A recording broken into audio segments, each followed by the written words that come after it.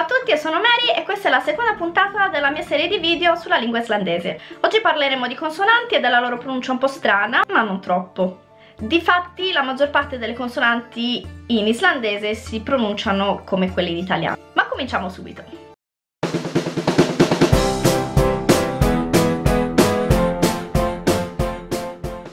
B, D e F si pronunciano esattamente come in italiano, in parole quali ad esempio banana, dir e frau.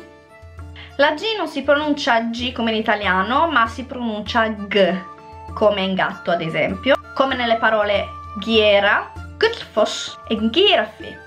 In alcuni casi, specie in posizione intermedia, la G non si pronuncia o si pronuncia appena, come ad esempio nella parola dain. La H è aspirata, come ad esempio nella parola hier. La G, come vi ho detto prima, si pronuncia come una vocale, quindi non la consideriamo. La K si pronuncia K, come nelle parole caca e chissa.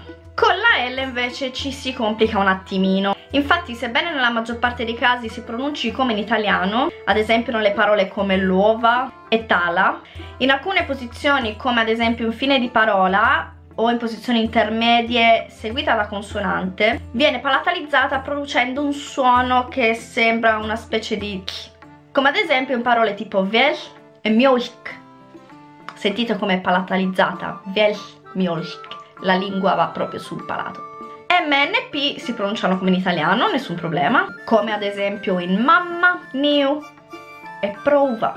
La R è palatalizzata e strascicata, pochino complicato da, da, riprodurre. Voi potete pronunciarla normalmente come in italiano, vi capiscono lo stesso, però se la pronunciate come la pronunciano loro diciamo che siete più eh, corretti.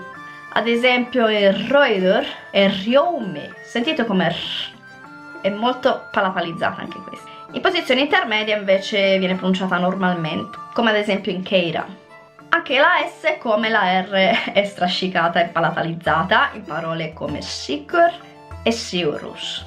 Vi sono alcune posizioni in cui non è palatalizzata, come ad esempio in Aust. La T è come quella italiana, in parole come ad esempio turn e til. Della V vi ho già parlato prima, quindi non c'è bisogno di riparlarne. La X si pronuncia X, in realtà non l'ho mai sentita utilizzare nel linguaggio normale, per lo più in nomi di posti come ad esempio Faxafen. L'islandese inoltre ha due consonanti che in italiano non esistono, la th e la z. Sono in realtà le varianti sorda e sonora di uno stesso fonema, ma che non vanno assolutamente confusi perché hanno due suoni diversi e le troviamo in posizioni diverse. Le troviamo ad esempio in theta, thor, ved, meth e huseth. Per oggi ragazzi è tutto, nella prossima puntata parleremo di combinazioni di vocali e consonanti non proprio semplici da imparare, ma vedrete che pian piano riusciremo a fare anche questo con un attimino di impegno e di attenzione. Mi raccomando se vi è piaciuto questo video lasciate un mi piace, condividetelo e se non volete perdervi nessun aggiornamento ricordatevi di iscrivervi al canale, di attivare la campanella e se avete qualsiasi domanda o commento vi prego di lasciarli qua sotto come al solito vi risponderò al più presto. E ricordatevi che se continuerete a seguirmi prima o poi anche voi riuscirete a dire Jafiat Leokut. Vi siamo!